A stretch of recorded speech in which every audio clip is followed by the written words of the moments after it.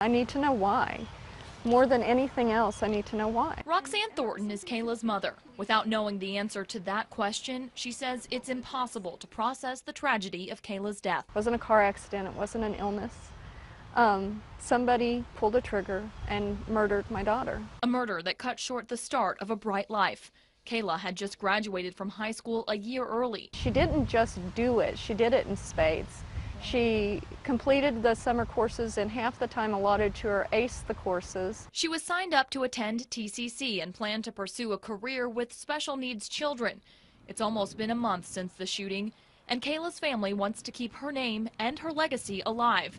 They've worked with the Crime Commission to set up a special donation-based reward fund. No matter what happens, the funds that are being donated will go to help Kayla in one way or another, either to, to solve this or to support the special needs children at Memorial. The police need the help of the community.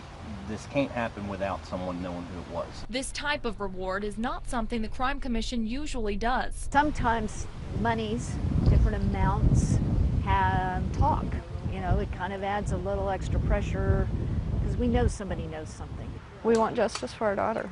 She deserves that. She deserves at least that much.